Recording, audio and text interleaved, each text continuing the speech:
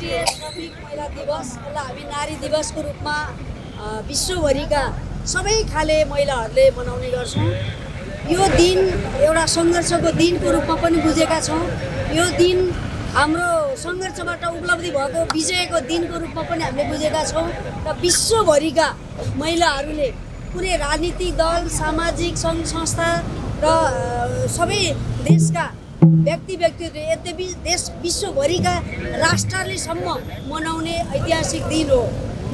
हामी सबैलाई थाहा छ विगतका दिनमा हामी वनस्थली चोकबाट बृहत र्यालीका साथ हाम्रा सुरक्षाकर्मीदेखि लिएर सामुदायिक विभिन्न क्षेत्रमा सङ्गठित हुनुभएका दाजुभाइ दिदीबहिनीहरू जुटेर भव्य र सभ्य र्याली कहिले बाइसधारामा कहिले यता माछापोखरी चोकमा कहिले यता टेलिभिजन युनिभर्सल एचडी टेलिभिजनमा लगेर समापन हामीले गर्ने गरेका थियौँ।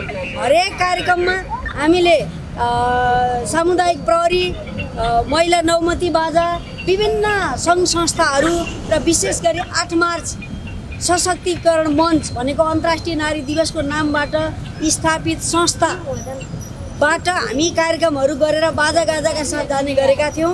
आज हामी हिजो अस्तिको कामको व्यस्तता र चौबिस गते दिमागमा सबैको सेट भएको नारी दिवस आज चाहिँ आठ मार्च भनेको चाहिँ पच्चिस गते परेछ। सायद आज फेरि शिवरात्रिको दिन पनि परेको हुनाले आज सबैजसो धार्मिक दृष्टिकोणले धर्म चाहिँ व्रत बस्ने मन्दिर जाने दिन पनि परेको हुनाले हामीले सोचे जस्तो स्तरमा कार्यक्रम हुन सकेन। हामी त्यति वृहत रूपमा सोचेका होइनौँ आज।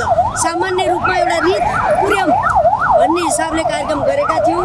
त्यसैले आजको कार्यक्रममा उपस्थित हुनुभएका तपाईँ सुरक्षा क्षेत्रका दाजुभाइ दिदीबहिनीहरू महिला नौमती श्रमिक सहकारीका दिदीबहिनीहरू आठ मार्च सशक्तिकरण मञ्चका दिदीबहिनीहरू विभिन्न सङ्घ संस्थाहरूमा आबद्ध हुनुभएका दिदीबहिनीहरू सबैलाई म आठ मार्च सशक्तिकरण मञ्चको अध्यक्ष आज कार्यक्रमको एउटा नेतृत्व हैसियतले सबैलाई नमस्कार गरेँ।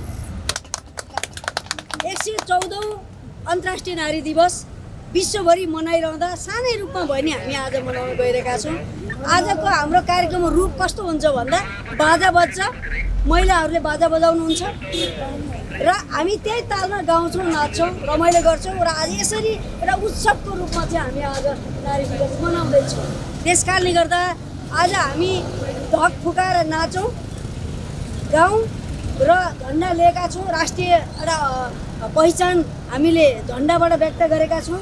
दुईवटा ब्यानर बोलिरहेको छ। हामी ब्यानरबाट पनि हामीले हाम्रो कार्यक्रमको एउटा सान्दर्भिकता व्यक्त गरिरहेका छौँ। त्यसैले युनिभर्सल एचडी टेलिभिजनलाई धन्यवाद दिन चाहन्छु कि हाम्रो यो सानै रूपमा भएको कार्यक्रम पनि टेलिभिजनमा प्रसारण हुनेछ होइन?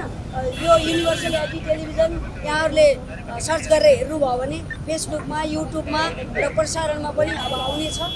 भन्दै टेलिभिजनलाई पनि धन्यवाद दिँदै आजको कार्यक्रममा हाम्रो विश्वभरि मनाउने कार्यक्रम फरक फरक ढङ्गले काहीँ अन्तर्क्रियाको रूपमा काहीँ र्यालीको रूपमा काहीँ सभाको रूपमा काहीँ गोष्ठीको रूपमा भइरहेछ भने हामी चाहिँ नाचगानको रूपमा हामी आज पर्व मनाउँदैछौँ।